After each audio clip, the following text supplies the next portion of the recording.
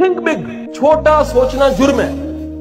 जो बड़ा सोचता है, जो उस पर तवक्कल करके, भरोसा करके सोचता है कि मैं बेशक चूंटी के बराबर लेकिन चूंटी भी कोशिश करती रहे एफर्ट करती रहे, वो अंजाम, उसकी जो कंपाउंडिंग है डेरन हार्डी अपनी किताब दी कंपाउंड इफ़ेक्ट में कहता है कि बंदा लगा रहे लगा रहे लगा रहे, उसका जो इफ़ेक्ट है, वो कंपाउंड इफ़ेक्ट हाथी जितना हो जाता है। डोमिनो इफ़ेक्ट जाके पड़ेगा इतनी सी टैबलेट गिरती है, और आखिर में एफल टावर गिर सकता है।